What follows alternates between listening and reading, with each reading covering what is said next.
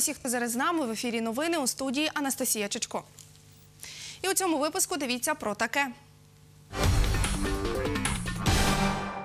Учні і вчителі тернопільських загальноосвітніх шкіл відпрацьовуватимуть чотири робочих дні грудня по суботах. Багато шкіл вирішили вже відпрацьовувати починаючи з завтрашнього дня. Щоб зібрати кошти для бійців операції об'єднаних сил у Тернопільській школі номер 18 організували осінній ярмарок. Вилучені кошти, які е, сьогодні будуть е, зібрані, е, підуть на передову. 124 із тернопільських шкіл змагались сьогодні у фінальному етапі змагань. Перші кроки. Естафета була попасти м'ячом в кольцо. Я попав три рази, і це дуже гарний результат. В управлінні освіти і науки Тернопільської міськради рекомендували школам міста відпрацювати по суботах чотири робочих дні грудня. Таке рішення прийняли, щоб зекономити кошти вчителям на заробітну плату. Повідомила начальник управління Ольга Пухиляк. За її словами, директори шкіл на шкільних радах індивідуально вирішували, чи працюватимуть 27 жовтня. Наші кореспонденти дізнали, що завтра навчатимуться учні 20 тернопільських загальноосвітніх шкіл.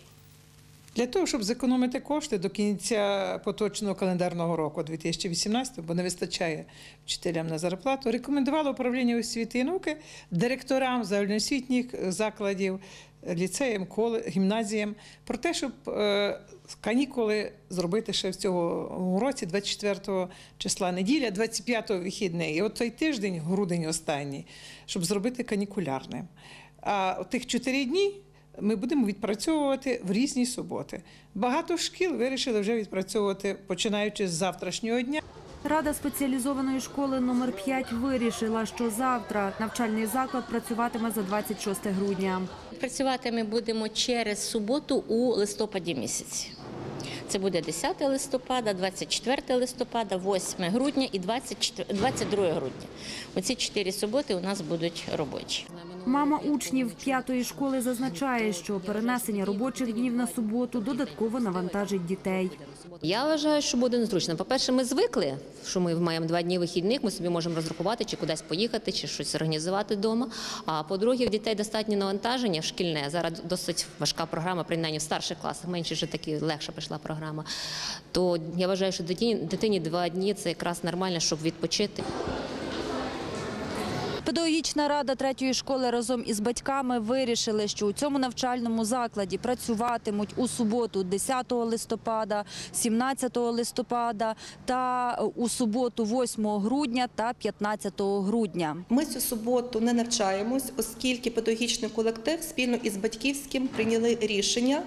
Не навчатись, Е, власне, тому що е, багато класів заздалегідь собі підготували поїздки, ну, скажімо, в межах України, в межах області. І оскільки багато класів буде охоплено саме цими поїздками, тому в цю суботу ми не навчаємося.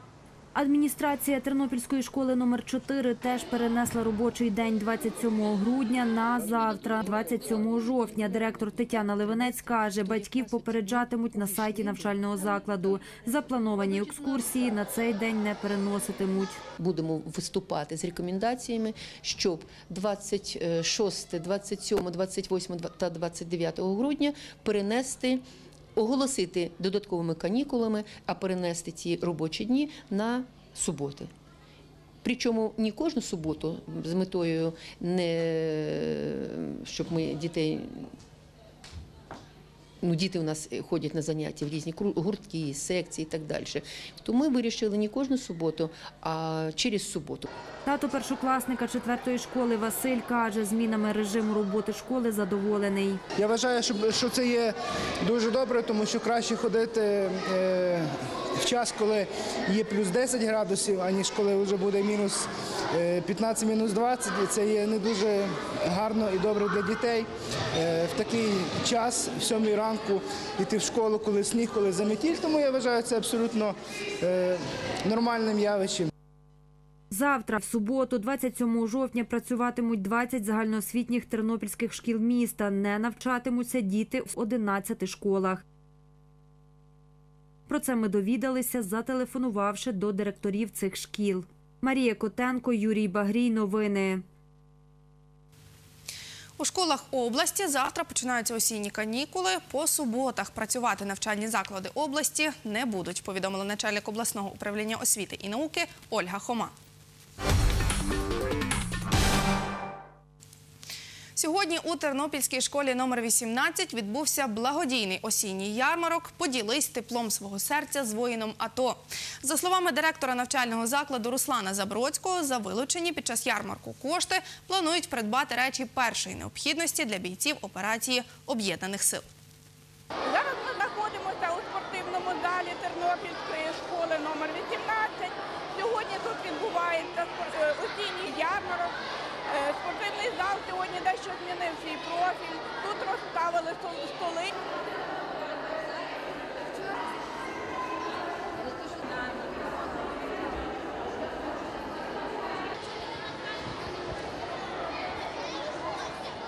Я приєдналася до цієї акції, зготувала зі своєю мамою е, шоколадний кекс. Е, і це я вважаю підтримує воїнів АТО і дає їм силу духу, щоб вони е, знали, що їх тут чекають, поважають і люблять. Ну, я мамі допомагав все власноруч робити, всі тістечка, торти і все, і різне таке. Сік сам приніс до школи. А прийняв акцію я в цьому, бо тому що дуже хотілося допомогти воїнам, АТО, які нас зараз захищають, і зараз ми в мирі сидимо і можемо це все куштувати. Батько третьокласника Назара Сеника три роки воював в АТО. Мій тато вже приїхав, але там ще воюють інші бійці, щоб захистити нашу землю. І я вирішив їх підтримати. Моя мама пекла кексики, і я їй допомагав. Аби підтримати своїх дітей, до школи прийшли батьки. Ми вирішили, е, е, зробили ярмарку на ту рахунок того, щоб підтримати своїх дітей і допомогти воїнам АТО, які захищають нашу Україну. Готувалися ми до ярмарку дуже ретельно, старалися приготувати що найкраще. Е, Зробили і кекси, зробили і піци.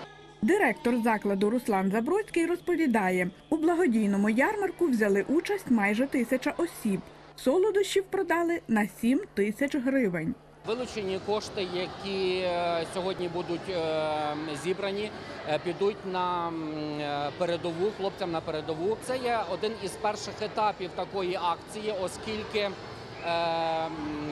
буде ще акція, на якій діти молодших класів будуть малювати листівки.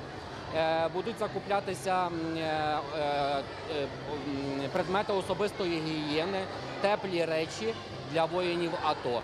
На сьогоднішній день забезпечення військовослужбовців вже скажімо, на достатньому рівні, але морально-психологічна підтримка, тепло рідного дому, тепло дітей, які пишуть листи військовим, проводяться різноманітні ярмарки, де присилають солодощі, різні смаколики. Це саме більше зігріває в той, скажімо, складний період, коли вже не хочеться нічого. Це підбадьорює, додає духу, сили і наснаги до перемоги. Любов Гадомська, Оксана Галіяш. Новини.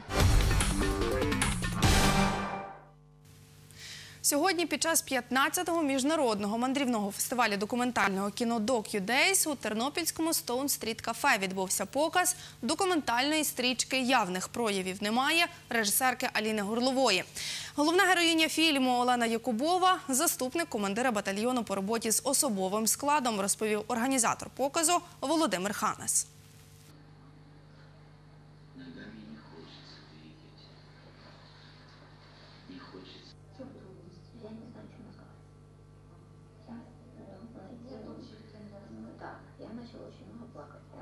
Феноменальна, унікальна історія е, людини, яка йде на війну, яка повертається з війни, переживає е, складний період реабілітації, і їй вдається, ем, ну, вдається, скажімо так, повернутися до звичного для нас ритму життя.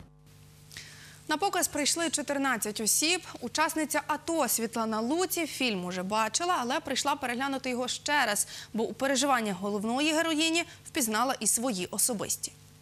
Найважче це тоді, коли ти повертаєшся. Вона от, оцей самий момент, коли вона виходить е, з поїзда на вокзалі і стоїть і не знає, де вона знаходиться, це правда. Такий є довший час. довший час ти живеш минулим. Я себе впізнала в цьому фільмі. Багато, дуже багато таких є там досить сильних психологічних моментів. Зазначу, авторка фільму явних проявів немає. Аліна Горлова, режисерка документальних та ігрових фільмів, також режисер монтажу. Народилась і живе в Україні у 2016 році. Репрезентувала власний повнометражний документальний фільм Холодний яр інтро на Одеському міжнародному кінофестивалі та Ардокфесті. –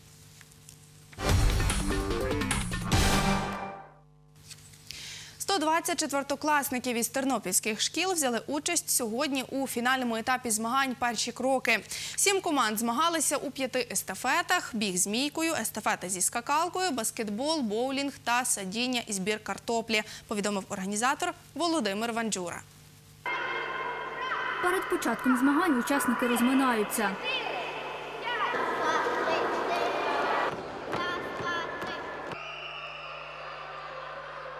Перша естафета біг з мійкою. За всім слідкують волонтери центру спорту для всіх. Ми слідкуємо, щоб було все по правилах. Е, Естафета має пробігти кожна дитина минути хвішки з мійкою. Це естафета з скакалкою.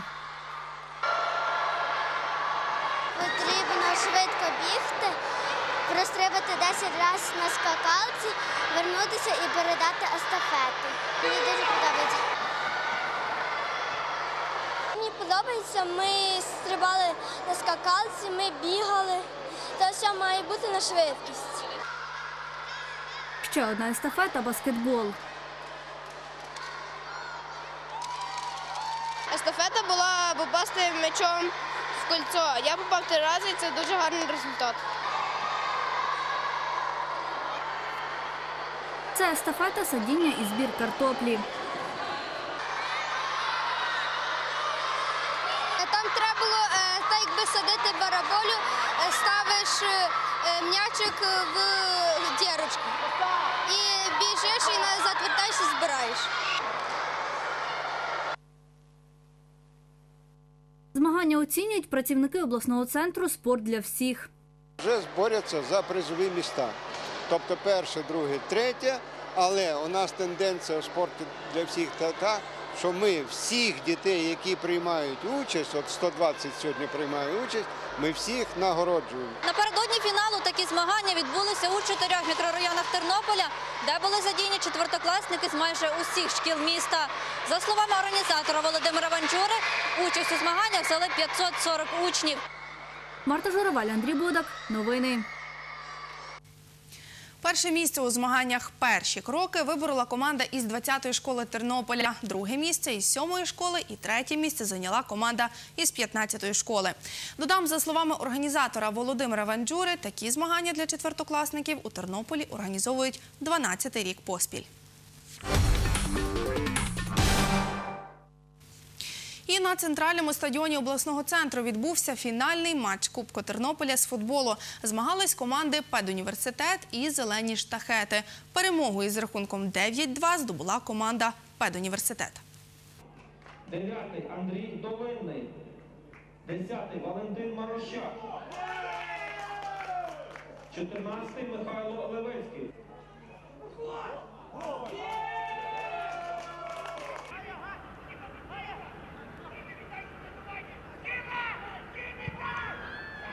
Гра була е, напружена, може на початку забили один гол, другий, вже потім легше стало. Так що я думаю, що рахунок ви самі бачите, який да.